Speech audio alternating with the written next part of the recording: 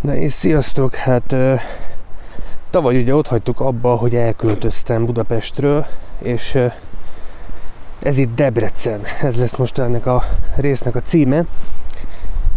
Elindulunk most, elindulunk dolgozni, és időközben egy csomó mindenről beszélek majd nektek. Így sorry, a képremegésért igyekszek minél jobban tartani, hogy ne legyen gáz. Kicsit változnak a vlogoknak majd a tematikája, hogy is változik a vlog tematikája. Ö, vegyített adások lesznek, hosszabb adások lesznek, és lényegre törőbbek, mint eddig. Tartsatok velem idén, ez itt a Backstage vlog, én pedig Juhász Norbert vagyok.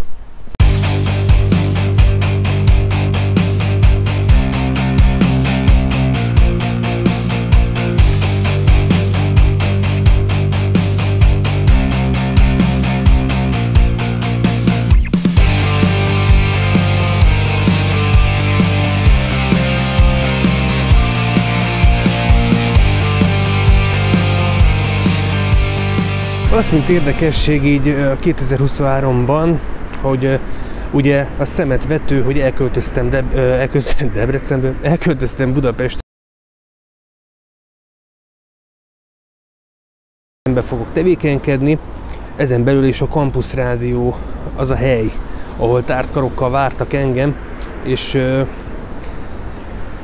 az a munkahely, ahol megbecsülnek, és most innen fogok nektek mindenféle érdekes tartalmat gyártani.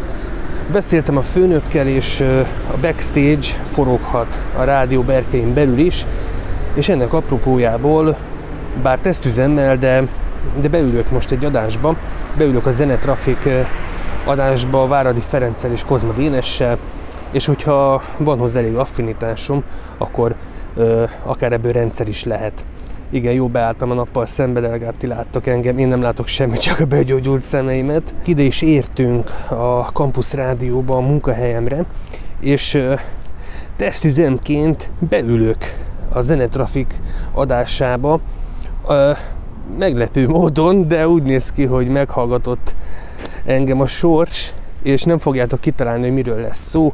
A Rammstein, Rammstein lesz megint a téma, és mint Rammstein szakértő szólok fel a legutóbbi Lindemanos szoborlopást követően.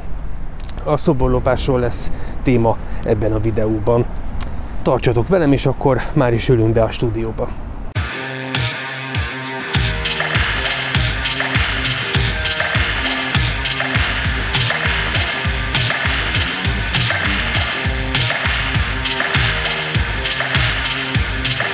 Ez tehát már a Zenetrafik, Váradi Ferenc vagyok, itt van Kozma.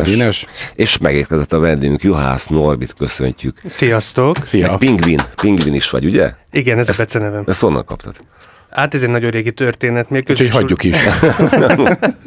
nem, nem is akartam elmesélni. De akkor köze van a télhez.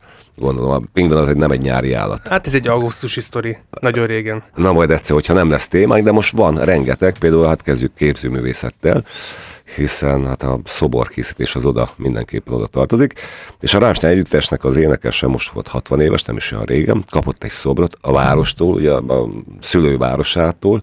Rostok. Igen, ráadásul pont a háza mellé, vagy elé, és hamarabb elfogyott, mint a ACDC-re a koncertjegyek. Négy órát bírta? Az? Konkrétan a felavatás után négy órát volt még Azt. a helyén, és utána eltűnt.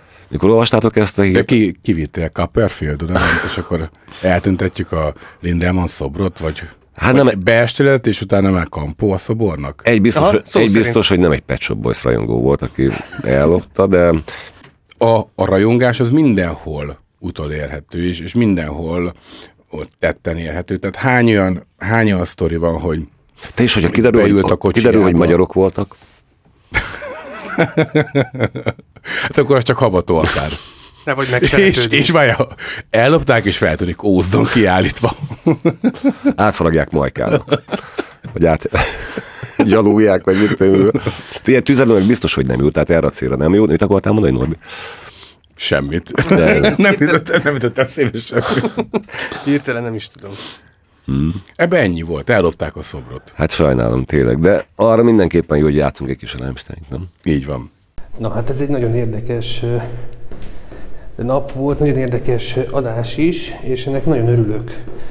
Ugyebár tesztüzemben, de, de beültem az adásba, és hogyha van hozzá affinitásom, van hozzá elég kedv, akkor ebből akár rendszer is lehet, aminek én kifejezetten örülök, és ez egy új, új része lehet akár a backstage-nek.